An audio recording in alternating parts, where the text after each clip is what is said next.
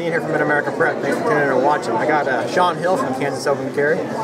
Shaun, uh, can you explain to us what Kansas Open Carry is about? We're about exercising our right, uh, our God-given natural right to keep and bear arms uh, for self-defense, uh, protection of myself, my family, and others around me. To get the word out that not everybody that has a gun, that carries a gun, is you know someone's going to do harm to somebody else. You know, it's normal everyday people. How, how long have you been open carrying? Uh, going on three years. Three years. So, you know, we have started doing 45 the past just, you know, less than a month ago. How, how do you think that's going to affect carrying firearms, not just openly but concealed, with, with all the media rhetoric and misinformation that's out there? I don't think it's going to affect us? It's not. It's not going to do anything.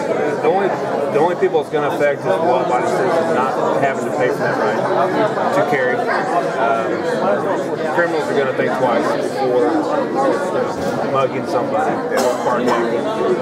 Um, you know, as far as that goes, I, the only people it's going to the, the, the only negative thing it's going to have is on criminals. I mean, obviously there's going to be a lot more people carrying, or if they're not, I mean, I honestly don't think that many more people are going there might be a couple more. I mean, all the chance to throw a shirt over it, you'll have a chance to put your jacket over in the wintertime. But a lot of people are worried about like, the, the law enforcement officer. And you know, I'm a big supporter of law enforcement and military and stuff like that. A lot of people are scared because they're going to be more aware. And just like Topeka, they just had that thing, the, the law enforcement the chief of police wants the officers to start having everybody put their hands on the wheel and stuff. And that's just standard stuff I've always learned. You put your hands outside your hand, out the window, or on the wheel. I mean, you have any, you know, mad I mean, that's, you know, the officers want to go home at night. I want to go home at night. Yeah. You know, what's the big deal?